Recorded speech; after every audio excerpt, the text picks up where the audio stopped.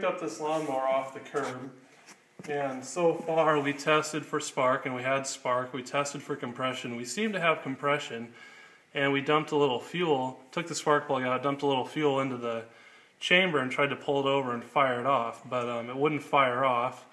So obviously we can eliminate fuel and spark, and we thought we had compression, but you know I thought maybe the exhaust is clogged. Well, I pulled the exhaust off and um, it just sounded kind of funny so I thought well maybe the valves aren't opening it's got some white cam lobes in it. So it turns out I popped the valve cover off here and we can see in here here's the valve springs and this top part is the uh, the valve it's a flathead motor and then the bottom is the lifter. So now when I pull the motor over those should rotate.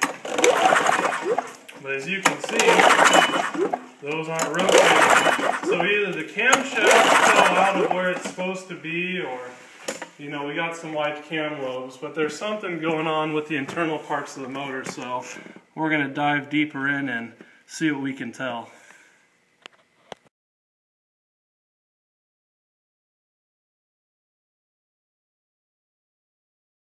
So anyway, we um, went ahead and pulled our cover off and took our governor out of here, and this is what we found. So um, this is kind of why I have some reservations about anything inside of a motor made out of plastic.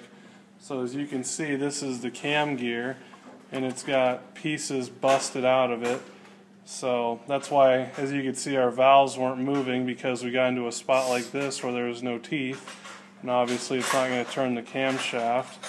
But um, you can see that they didn't change the oil too regularly because there's some flat spots starting to be uh, worn in the camshaft there. So um, anyway, that's pretty much toast, and we'll go ahead and replace that and put a new cover seal on there, and we should be good to go. Um, but that just goes to show like the, this is from a stock small block Ford from the 80s. As you can see, it's the same material, and um, you know, that's really why I don't like this stuff. It can fail really easy and it causes big problems with an engine. So, um, anyway, that's kind of a look at a failed cam gear um, on a lawnmower. So we'll go ahead and put a new one in. But anyway, there you have it.